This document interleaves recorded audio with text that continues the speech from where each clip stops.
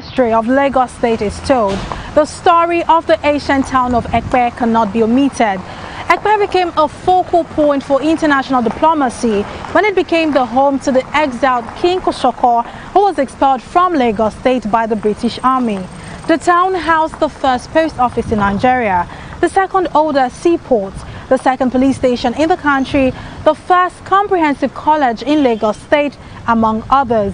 Now, despite its rich heritage and contribution to Lagos economy, the town, once a fast-growing model city, now stands on a depleting economy further worsened by environmental issues. Hello and welcome to another edition of Ecosphere. I am Mary Kanu. Now, as a call to action, we see two artists and photographers, Bolaji Alonge and Shola Otori, who have taken it upon themselves to bring to the fore the plight of Epe residents with the aid of artworks and video documentaries to launch a campaign tagged Greener Pastures. Epe lies on the left bank of the coastal Lagos Lagoon with rich aquatic life. As beautiful as the scenery may be, the experiences of residents in this part of Lagos State is a direct opposite.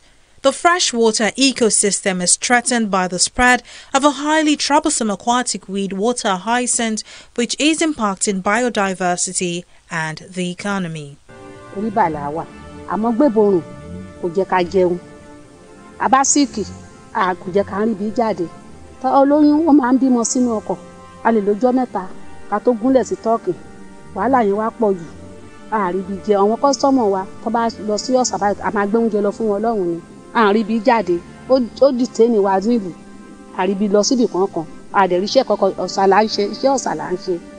Ṣé ti yẹn sìn ọ̀nà mọ́tò yẹn gangan kán wá bá wa ṣe kódà wá bá a la kíbí kán apá àkógbèmù kán bá a ṣe títì wa. Bá ti bá a ṣe títì wa à nígbàdùn. We are highlighting the beauty of the place and also how to get sustainable living for the people living in these communities. As you know, I tell stories using my, my, my pictures, my photography. But we are inspired here by the beauty in the first place, the beauty of this place, the sheer grandiose of the greenery of this place. But now looking at it closely, you see that things have to be done to make the lives of the people better. So that alone inspires me to do this, for us to be able to present it to you and talk about it. Yes, water hyacinth has been a problem. A, and you know, water hyacinth grows exponentially. If you wake up today, it's grown like in three folds.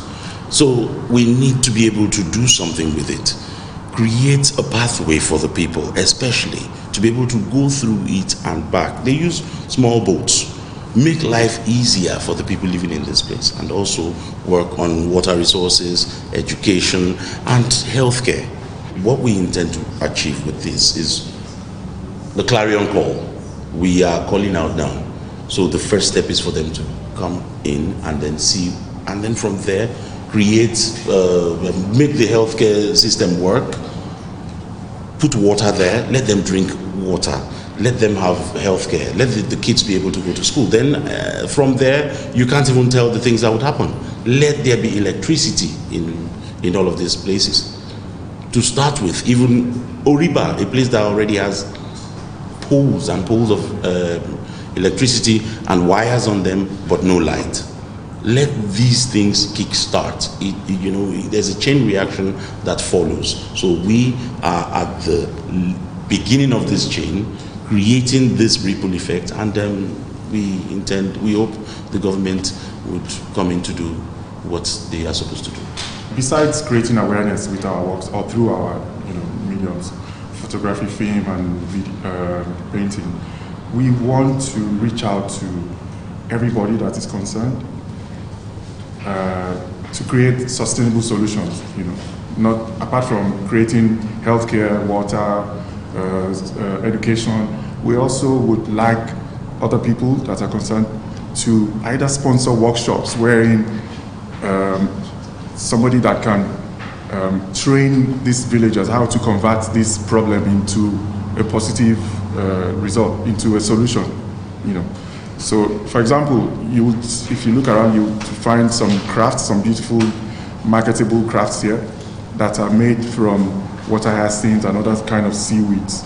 So these are some of the things that we are looking to achieve in the near future.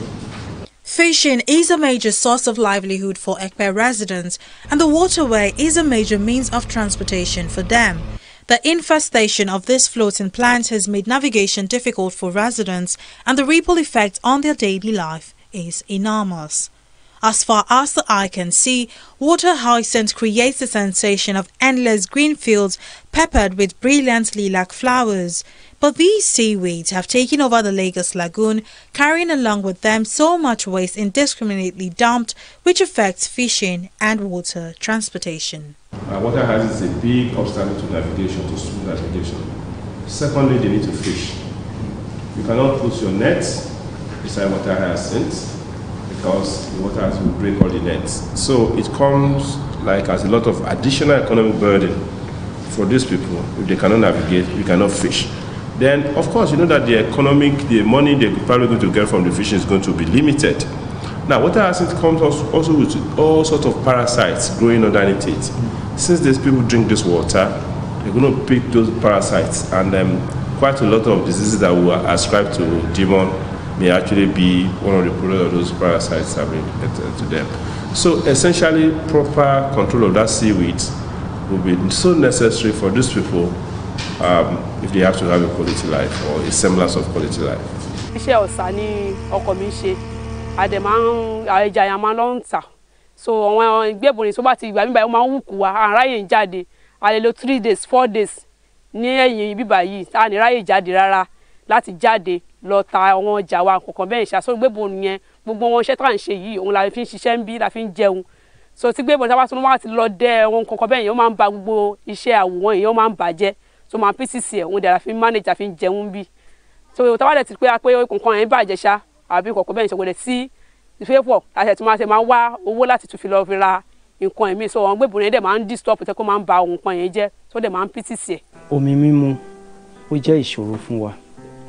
sometimes tá a bá máa mu omi àfi ká gbé ọkọ̀ ká cross lọ sí other side láti lọ pọn omi borehole. Kí cross uh, sí other side yẹn máa ń dojú kọ water hyacinth tá a máa cross. Ìgbà míì ẹnu ọmọ mi lè lọ kó já lo three hours ní ìrìn tí yóò yẹ kó ju twenty minutes. Tí ilẹ̀ bá ṣú wọn ẹ̀fọn mosquito ló máa jẹ wọ́n tí ó tó máa tó wá fa àrùn sí wọn lára. A ò ní hospital tí ìjọba lè fi máa care fún. Ìṣòro ńlá là ń dojúkọ tí àgbàlagbà bá sick especially tí àwọn obìnrin bá lóyún tán bá máa bímọ. Èmi ọkọ̀ la máa gbé láti bí ká tó dé ìjìnrìn èmi àti bímọ sínú ọkọ̀. Èmi ọmọ ẹ̀ á bímọ tán máa bleed. Tó jẹ́ pé èmi faint ká tó lè dé ìjìnrìn àdẹ̀tí ìrọ̀gbọ́n dá sí di wákàtí ìjọba náà láàyè ń wojú ẹ̀. Àwọn àgbàlagbà wa tán bá ti dàgbà díẹ̀ tí òtútù bá ti mú wọn àti gbé wọn dọ́sípítù náà wàhálà ni. Wàhálà ni. Èmi tó jẹ́ pé ìrìn hospital tí ò yẹ kó ju ten minutes or fifteen minutes jẹ́ pé òbílì kenú la máa lò ká tó lè gbé wọn dé hospital èmi á ti dákẹ́ ká tó dọ̀hún. Epe, as a nation town in the early days, meant that commercial activity was constant with numerous developments and infrastructures, but the reverse is the case as life has stopped in the tracks for residents. As you see from the documentary, it's a very beautiful place. This is a place everyone from this part of Lagos could always go and enjoy nature and come back. So that would help the economy of this place. Fishing happens there a lot. So these people actually feed us here. So if things are better there, fishing here, food, and for, for, for us here, agriculture from there, it would be better. So I think it would be a lot better if everything, this ripple effect I'm talking about, if everybody is in on it, all the agencies involved, if they are in on it, results will be achieved, definitely. Mo jẹ́ ọmọ ìkòròdú. Mo wá síbí báyìí láti wá ṣe iṣẹ́ apẹja torí wọ́n máa ń pẹja ń lu yìí torí ẹ̀ mo kọ́ṣẹ́ mechanic. Mo nídìí owó torí pé iṣẹ́ tí mo kọ́ mo fẹ́ ra irinṣẹ́ mo dẹ̀ ṣe freedom. Tó yẹ mo wá sílùú láti wá wá owó láti wá ṣiṣẹ́ ọ̀sà. nǹkan tí mo rí ìbà yìí ni pé bí ìbà yìí bó ṣe wà kò sí iná ń bẹ̀. So school tó dẹ̀ wà ń bí ìbà yìí náà kẹrì kò tí sí tíṣà púpọ̀ níbẹ̀ kò sí tíṣà púpọ̀ ń bí ìbà school tó wà ń bí ìbà bẹ́ẹ̀ kẹ́ wọ́n textbook tó máa ń fún wọn ní ìgboro yẹn wọ́n gbé wá sí bíbáyìí fún wọn student wọn ní bíbáyìí kò dé tí wá sí títì kò tún sí omi kò tún sí anything bọ́ọ̀ oríṣiríṣi àwọn bọ́ọ̀ tó wà ní kò sí ní bíbáyìí so nǹkan tó ń tẹ̀ wá ní bíbáyìí nìyẹn. When you listen to the dominant narration in the news and newspaper or television and print media and whatever media, it's essentially on what's happening in the city and other stuff. But why are we not having a beat dedicated to these critical rural people? Because that, that kind of place will be the place to absorb the excesses of Lagos population. Let's get it straight. Lagos population is going to outgrow, and those are the kind of the last um, frontier to absorb those population challenge. That's the frontier we need to push agriculture, push tourism, push um, sustainable living, uh, uh, uh, you know, climate change. Because again, when the climate change comes, it will hit them first and hit them hardest because they, they are not protected. Oliver, for instance, is the is the voting capital for the second ward. There's Oriba ward, there's Olubokire ward. I'm talking, it's, let's it from politics. Um, now, if you count all the votes in a division and you've not seen that of Oriba, you're wasting your time. Now, because of that, you see a lot of political politicians going to this place. I remember, was this at Ibon, one of those villages, when the chief had to go and bring for us an old wall clock that one politician gives it. That after giving this wall clock, they walked away. And there's nothing for us again. So they felt that this people only come when they need votes. Um, and then they said, they, they, they were very, they felt despondent. What really can be done to help the residents of Epe town? Who knows? But we'll take a break here, and when we return, we'll be speaking to an environmentalist on ways to help restore the lost glory of Epe town. Please stay with us. Corruption not in my country. Cut. All right. What's your name again? Kemi? Good. Are you ready for us for next week? Yes, sir. Next. Ndewo, sir. Ndewo.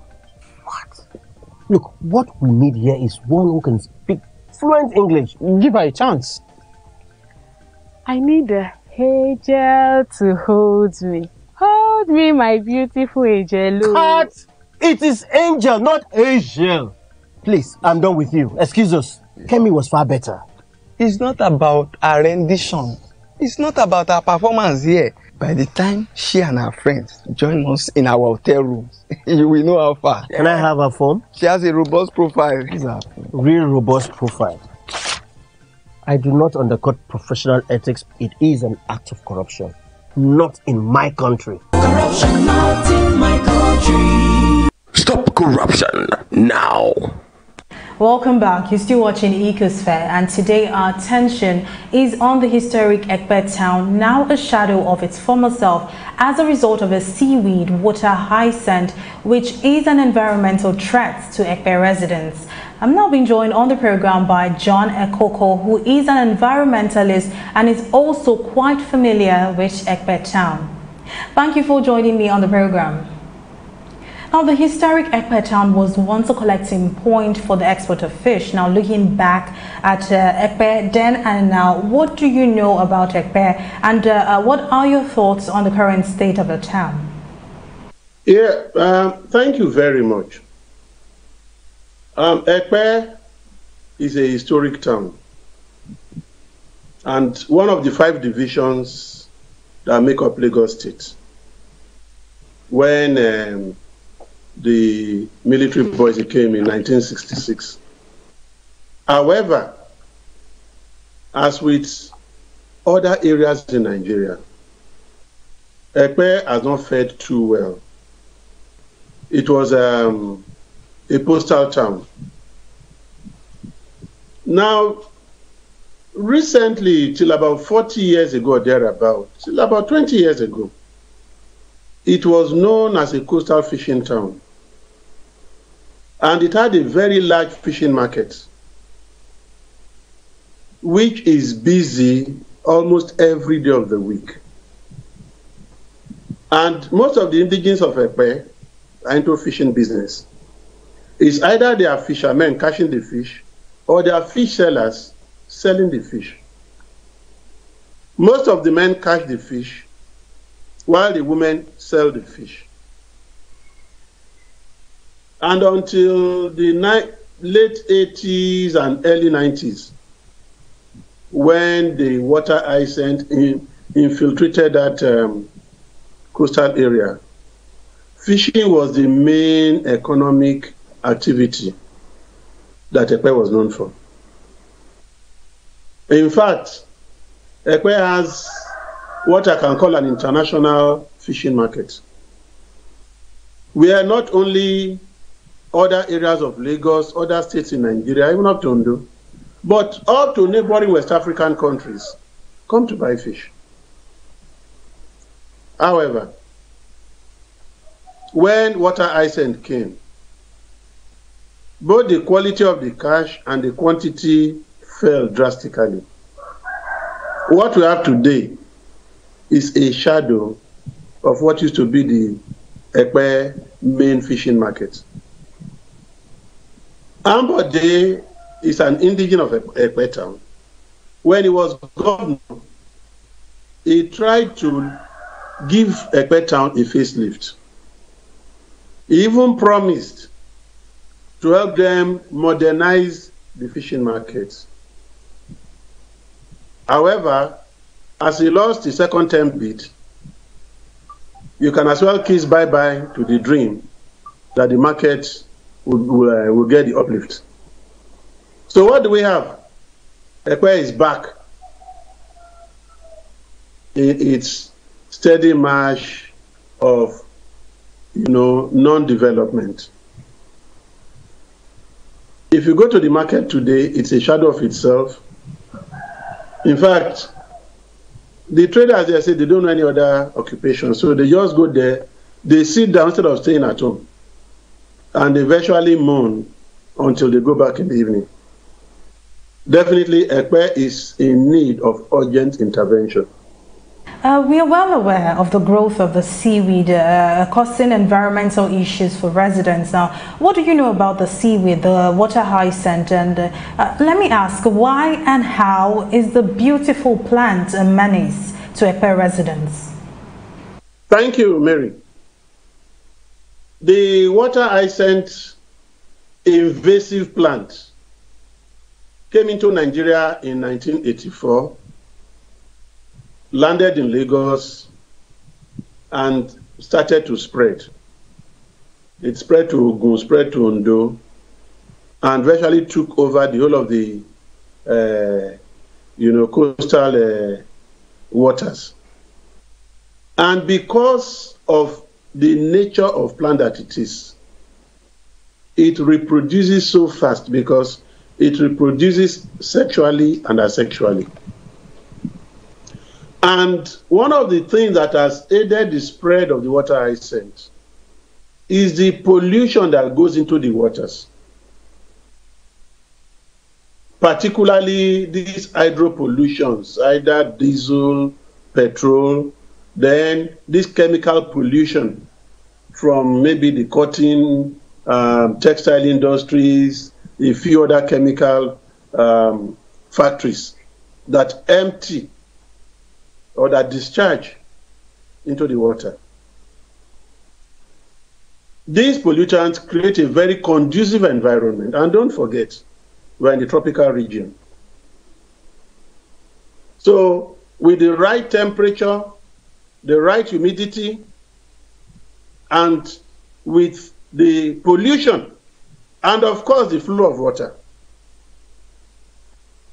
the water hyacinth spreads very rapidly.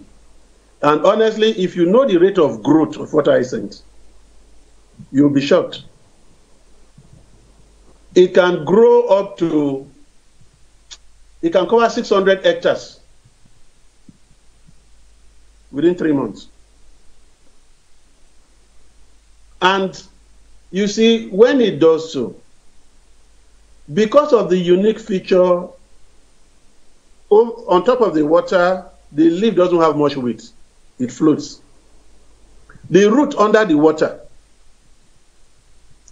can survives very well in the envir- in the habitat that it has created for itself. It drives other plants away. And by so doing, it blocks the total waterway. Now, I must ask, um, is, is, do you think uh, uh, there is a lasting solution to the growth of the seaweed? And um, is there a positive side to the growth of the water hyacinth? Talking about tackling water hyacinth, like other organisms of its type, there are three main methods. You have the physical method, which the government embarked on since around September 2020. The problem with the physical method is that it does not actually address the root cause of the water ice, hyacinth growth and spread. It, I mean, and it causes fatigue. You can use dredgers, you can use um, uh, combined machines, um, a large combination of them. So, like I said, from the physical method, which involves going there with uh, dredgers, harvesters, and labor to clear the water hyacinth from the water body. There are also the biological methods by which certain insects and organisms are introduced that infest the water hyacinth and kills it. The problem with this second method is that it's a long-term method. It is cheaper. Another problem is that non-target um, things in the environment can also be affected. The same thing for the chemical method. You can use certain chemicals to actually uh, kill off the water hyacinth. But the problem is that the chemicals may also affect other habitats in the environment. And of course, you cannot do it once and get a complete treatment. To try to repeat it continuously can be very expensive. Another thing that can be done is to study the growth pattern of the water hyacinth and use a control method to gradually weed off the water hyacinth from the waters. Right? So, if you do that, maybe for short term you use the physical method, the medium term you can use the chemical method, while you are relying more on the biological method for the long term. Now, looking at the positive side of the water hyacinth, I've named so many. You can produce antipollutants with water hyacinth that can be used in pharmaceutical industry, used in chemical industry, used in textile industry. I know textiles, pharmaceuticals, and all that they are down. But one thing I know is that the ones existing, they import. Water hyacinth will not be sold because it, it has a nuisance value today. If they can get this product from there, it will be cheap.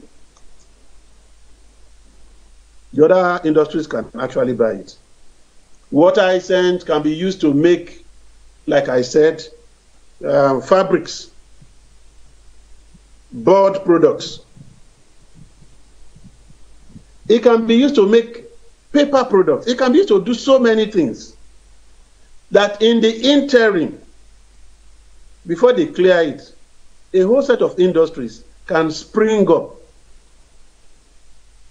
from evacuating water hyacinth from the waters. Now, uh, um, let me ask, uh, uh, finally, before I let you go, aside from the growth of the seaweed, um, it generally seems like the town has been abandoned by the government. Um, the people lack clean water and the overall well-being of residents is threatened. Now, what do you think can be done to restore the lost glory of the town? Thank you. That of Epe town is easy. You have to modernize the payment market because it is like the main artifact from the town. If it is done, it can even become a tourist attraction. There are other signposts there that people will be interested in going there to see.